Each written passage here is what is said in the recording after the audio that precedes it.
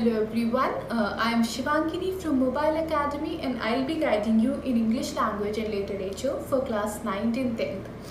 So uh, since ये English की class है so uh, we will refrain from using Hindi entirely. Obviously जब मैं explain करूँगी तो word by word, line by line में हिंदी में explain करूँगी जिससे I'm sure आप सबको बहुत अच्छे से समझ में आ जाएगी ये poem by the end of this video. But apart from that हम लोग दोनों languages का use करेंगे so please don't mind.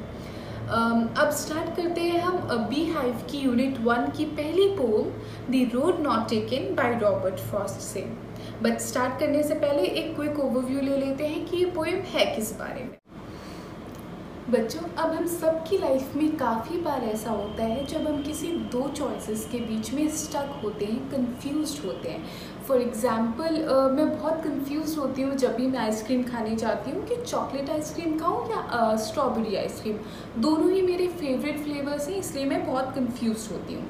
थोड़ा और समझने के लिए। जैसे आप सब अभी अगले साल क्लास टेंथ में जाएँगे, उसके बाद आपको स्ट्रीम चूज़ करनी होगी कि आप साइंस लें या कॉमर्स लें। आप बहुत कंफ्यूज होंगे, आप दोनों के प्रोज एंड कॉन सोचेंगे। आपके पेरेंट्स बोलेंगे कि साइंस लो, इसमें ज़्यादा स्कोप है बट आपके फ्रेंड्स कॉमर्स ले रहे होंगे। आप दोनों में बहुत कंफ्यूज होंगे। आप सारे प्रोज एंड कॉन सोचेंगे, जितनी दूर तक देख सकते हैं, उतनी दूर तक इसका फ्यूचर कॉन्सिक्वेंस देखने की कोशिश करेंगे और उसके बाद आप एक स्ट्रीम चूज़ करेंगे, जो कि आपकी लाइफ में, आपके करियर में बहुत ज़्यादा इम्पैक्ट डालेगी। तो ऐसे ही एक सिचुएशन में डिलेमा में हमारे जो इस, ये पोएम के जो पोएट हैं, या कह लें जो स्पीकर है, जो नरेटर है, जो प्रोटैगनिस्ट है प्रोटैगनिस्ट लिटरेचर में जो भी फ़िल्म में पोएम में बुक में स्टोरी में नॉवल में जो भी सेंट्रल कैरेक्टर होता है, उसे हम बोलते हैं प्रोटैगनिस्ट मतलब नायक। तो जो हमारे स्पीकर है, जो प्रोटैगनिस्ट है, वो एक ऐसे रास्ते में स्टक है, जहाँ पे वो सामने अभी तक आ रहा था एक रोड में, अब उनके सामने दो रास्ते हैं। या तो फिर वो लेफ़्ट चूज़ कर सकते हैं, या तो फिर राइट उन्हें दोनों में से एक ही चूज़ करना है। और वो बहुत कंफ्यूज हैं। डिलेमा में है कि वो कौन सा चूज़ करे। वो बहुत ज़्यादा सोचते हैं प्रोज एंड कौन सोचते हैं, उसके बाद वो एक रास्ता डिसाइड करते हैं, जिसे वो बोलते हैं कि उसने ही उनकी लाइफ में सारा डिफरेंस लाया है, बहुत ज़्यादा इम्पैक्ट किया है। अब यहाँ पर ध्यान रखने वाली बात ये है कि ये जो रोड्स हैं, ये एक्चुअली में डिनोट कर रहे हैं लाइफ चॉइसेस को। जो हमारे पोएट हैं, उन्होंने रोड्स के द्वारा लाइफ चॉइसेस की बात की है। वो डिनोट कर रहे हैं ये रोड्स दो लाइफ चॉइसेस को जब लोग बहुत कंफ्यूज होते हैं किसी दो चॉइसेस के बीच में। तो स्टार्ट करते हैं, अब पोएम अपनी। तो चलो बच्चों, अब हम स्टार्ट करते हैं पोएम रीड करना। लाइन बाय लाइन हम रीड करेंगे पोएम और उसकी एक्सप्लेनेशन सुनेंगे। तो two roads diverge in a yellow wood दो रोड्स डाइवर्ज का मतलब होता है यहाँ पर सेपरेट होकर अलग अलग डायरेक्शंस में हो जाना। तो बोल रहे हैं टू रोड्स दो रास्ते डाइवर्स्ड अलग हो गए in a yellow wood wood यहाँ पर क्या है? लिटरेचर में हम अक्सर वुड का यूज़ फॉरेस्ट के लिए करते हैं।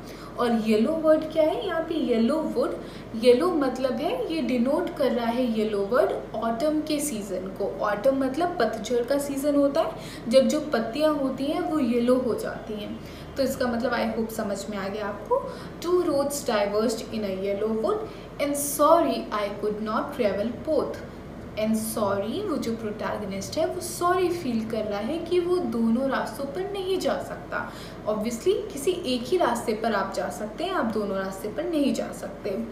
And be one traveller long I stood अब बोल रहे हैं एंड बी वन ट्रैवलर मतलब जो प्रोटैगनिस्ट है, वो अपने आप को ट्रैवलर बोल रहा है, वो बोल रहा है एंड बीइंग अ ट्रैवलर एक ट्रैवलर होते हुए long I stood long I stood मतलब बहुत देर तक मैं वहीं पर खड़ा रहा। And look down one as far as I could as far as I could मतलब फार मतलब दूर तो मैं जितनी दूर तक देख सकता था, मैं उतनी दूर तक देखता रहा। To where it bent in the undergrowth अब वो नेक्स्ट लाइन में बता रहे हैं कि वो कहाँ तक देखते रहे? जहाँ तक वो रास्ता बेंट नहीं हो गया, मुड़ गया जहाँ तक। जहाँ से वो रास्ता मुड़ गया, अब ऑब्वियसली हम जहाँ तक देख, सामने तक देख सकते हैं ना। जब रास्ता मुड़ जाता है, तब हम नहीं देख पाते।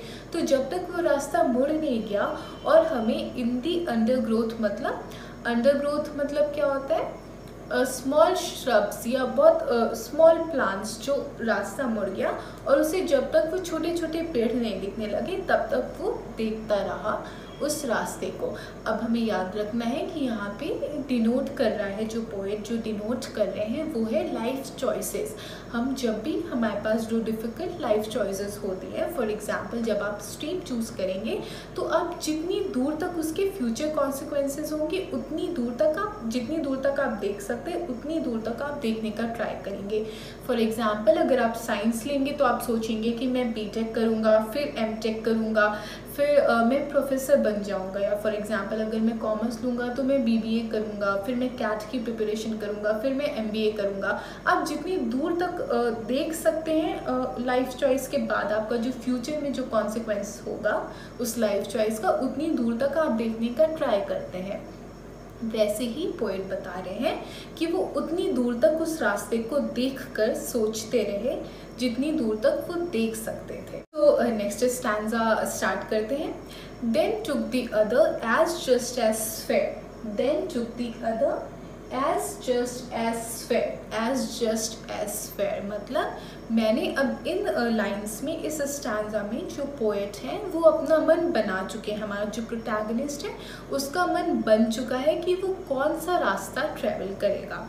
तो उसने बोला देन टुक दी अदर उसने दूसरा रास्ता चूज़ किया एज जस्ट एज फेयर जो उसे उतना ही फेयर लग रहा था, उसे उतना ही सही लग रहा था and having perhaps the better claim better claim मतलब मोर अपीलिंग जो उसे ज़्यादा अपीलिंग लग रहा था। अब यहाँ पे परहैप्स का मतलब है शायद and having perhaps the better claim और शायद वो ज़्यादा अपीलिंग है, वो रास्ता ऐसा पोएट को लग रहा है।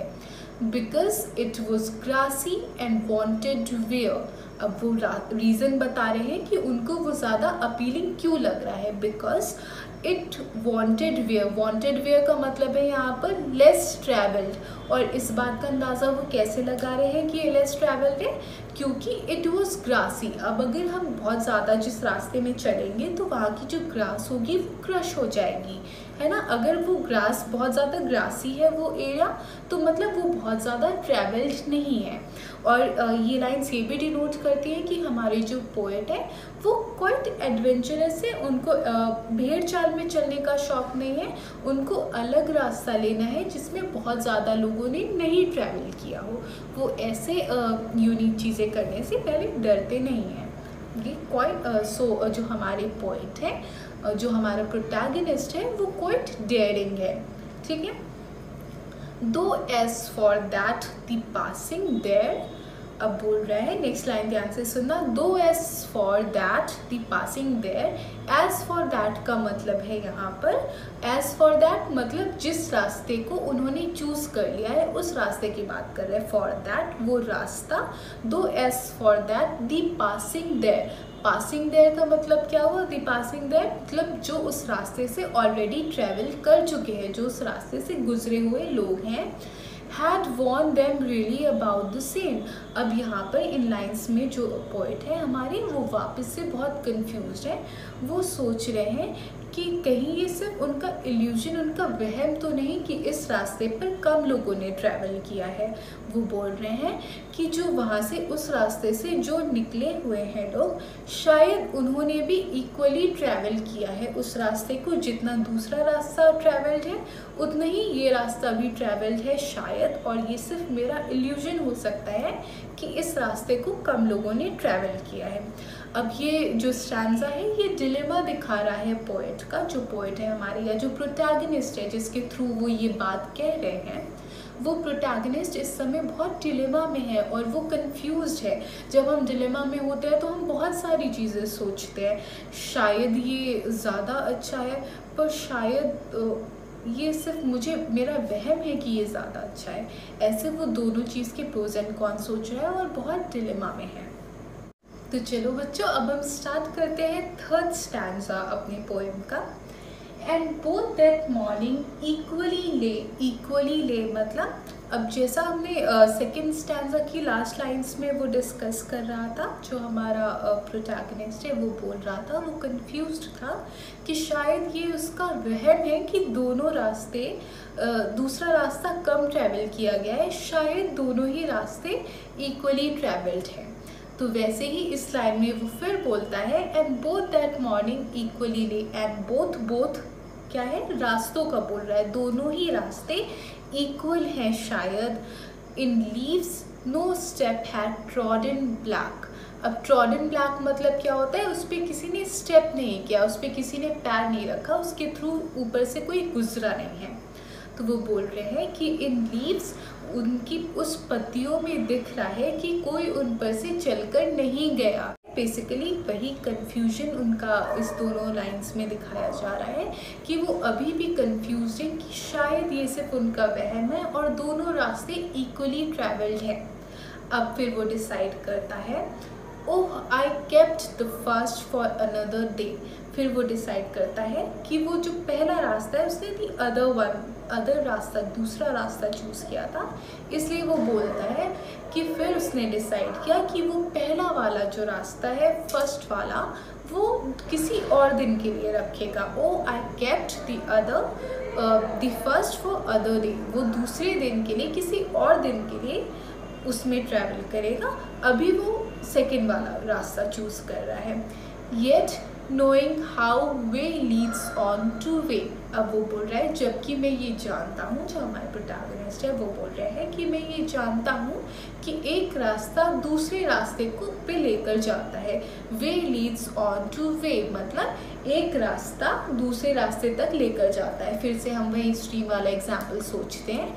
जैसे अगर आपने बी टेक किया तो फिर आप एम टेक करने लगेंगे। आप एम टेक करके, आप बी टेक करके वापस बी बी ए करने नहीं आ सकते ना। तो अगर आपने बी टेक चूज़ किया है तो उसके आगे का रास्ता ही आपको चूज़ करना पड़ेगा, इसीलिए वो बोलते हैं, way leads on to way एक रास्ता दूसरे रास्ते तक लेके जाता है, ये मुझे पता है।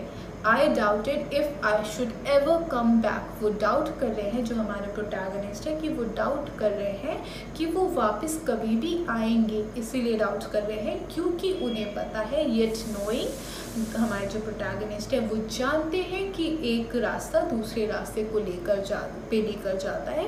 इसलिए हो सकता है वो वापस कभी ना आ पाए उस रास्ते पे, पहले रास्ते पे उसे भी ट्रैवल करने के लिए। बट फिर भी उन्होंने वो पहला रास्ता कभी और के लिए छोड़ दिया है और अभी वो दूसरा रास्ता चूज़ कर रहे हैं, जो उन्हें लगता है कि कम लोगों ने ट्रैवल किया है। अब जो हमारा लास्ट स्टैंडा है इसमें जो पोइट है जो हमारा प्रोटैगनिस्ट है, उसने काफ़ी माइंड मेकअप कर लिया है, वो डिस डिसाइड कर चुका है। तो वो बोल रहे हैं I shall be telling this with sigh मतलब क्या होता है? इसे क्या बोलते हैं? साई तो वो बोल रहे हैं कि मैं कुछ टाइम बाद एक साई के साथ, एक डीप ब्रेथ साई मतलब डीप ब्रेथ तो मैं एक बहुत ही डीप ब्रेथ के साथ बताऊँगा। Somewhere ages and ages hence ages and ages मतलब बहुत टाइम बाद, कुछ बहुत टाइम बाद मैं एक बहुत ही डीप ब्रेथ के साथ ये बताऊँगा। Two roads diverged in a wood and I took the one less travelled by अब two roads diverged in a wood वो वही बता रहे हैं, जो पहली लाइन में उन्होंने बताया, वो बोल रहे हैं कि बहुत सालों साल बाद वो एक डीप ब्रेथ के साथ ये बताएँगे दूसरों को कि दो रास्ते डाइवर्ज होकर जा रहे थे एक जंगल में और I took the one less travelled by और मैंने वो रास्ता चूज़ किया जो बहुत कम ट्रेवल्ड था, जिस पर से बहुत कम लोग गए थे। And that has made all the difference और जो भी डिफरेंस उनकी लाइफ में है, वो सारा उसी एक डिसीज़न ने ही लाया है। अब यहाँ पर पोइट ऐसा कुछ भी नहीं बोल रहा है कि वो डिसीज़न जो था, जो उसके कॉन्सिक्वेंस थे, जो डिफरेंस था, वो पॉजिटिव था या नेगेटिव था। बस ये बोल रहे हैं कि हम जो लाइफ में चॉइसेस करते हैं वही पूरा हमारा फ्यूचर इम्पैक्ट करता है। हमारे फ्यूचर पे उसका बहुत इफ़ेक्ट होता है।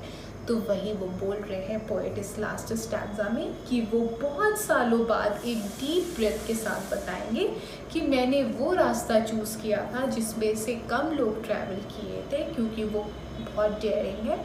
मैंने वो रास्ता चूज़ किया जो बहुत कम ट्रैवल्ड है और उसने ही मेरी लाइफ में पूरा डिफरेंस लाया। तो आई होप आप सबको ये पोएम बहुत अच्छे से समझ में आ गई होगी।